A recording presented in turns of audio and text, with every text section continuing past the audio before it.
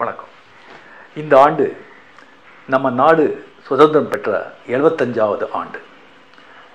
நம்ம நாடை வணங்கும் விதமாக நம்ம எல்லாருடைய ஒற்றுமையை காட்டும் விதமாக நம்ம இந்திய நாடு சுதந்திரம் அடைகிறதுக்கு எத்தனையோ வருஷங்கள் பல லட்ச பேர் எவ்வளோ சித்திரவதைகள் கொடுமைகள் அனுபவிச்சிருக்காங்க.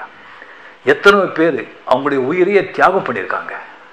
அந்த சுதந்திர தியாகிகளுக்கு அந்த சுதந்திர போராட்ட வீரர்களுக்கு மரியாதை செலுத்தும் விதமாக வருகிற பதினஞ்சாம் தேதி ஜாதி மத கட்சி வேறுபாடு இல்லாமல் நாம் எல்லாரும் இந்தியர்கள் என்ற உணர்வோடு ஒரு ரெண்டடி இல்லை ஒரு மூணடி கொம்பில் நம்ம தேசிய கொடியை கட்டி நம்ம வருங்கால சந்ததிகளான குழந்தைகள் இளைஞர்கள் கையால் நம்ம வீட்டுக்கு முன்னால் அந்த கொடியை பறக்க விட்டு நாம் பெருமைப்படுவோம்.